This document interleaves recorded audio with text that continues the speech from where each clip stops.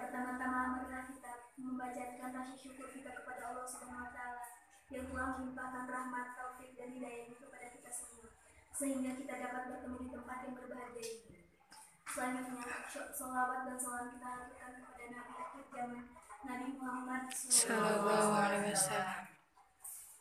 Hadirin yang saya muliakan, bulan Rabiul Awal adalah bulan yang bersejarah dalam dalam kehidupan manusia. Karena pada tanggal 12 Rabiul Awal tahun gajah telah dilahirkan seorang pemimpin umat manusia yang merupakan rahmat bagi alam semesta. Beliau adalah junjungan kita, yakni Nabi besar Muhammad Sallallahu alaihi wasallam.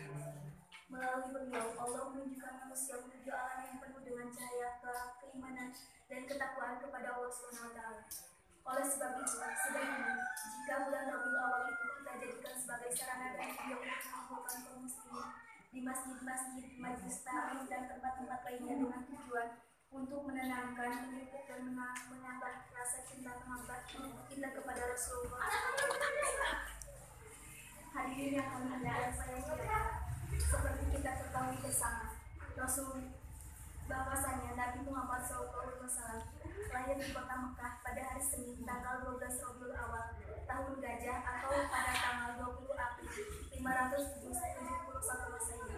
Ayahnya bernama Abdullah bin Abdul Muthalib dan ibunya bernama Siti Aminah.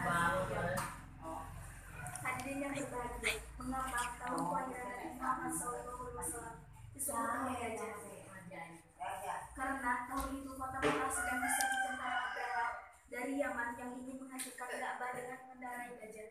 Tetapi maksud Abraha untuk menghentikan keadaan sia-sia. Sebab Abraha dan tentaranya hancur oleh lemparan batu kerikil yang dibawa oleh burung ababil atas perintah Allah Subhanahu wa taala. Sebagaimana firman Allah Subhanahu wa taala dalam surah Al-Baqarah ayat 1 Bismillahirrahmanirrahim. Alam tara kaifa fa'ala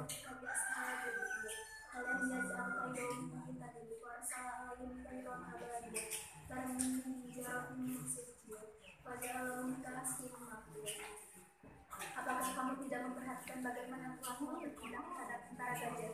Bukankah dia telah menjadikan dari mereka untuk menghancurkan kata sia-sia?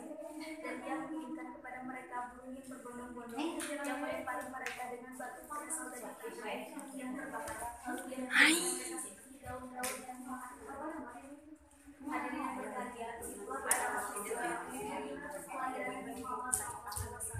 Semoga tidak ada yang sedih bisa menceritakan betapa pentingnya Nabi Wasallam. hanya itu yang dapat saya sampaikan. Semoga bermanfaat bagi kita semua. Dan akhirnya, tiada gading yang tak retak, tiada suatu pun yang sempurna walaupun kecil, pasti ada cacat dan celana. Untuk itu, bila ada kata-kata yang tidak berkenan, saya mohon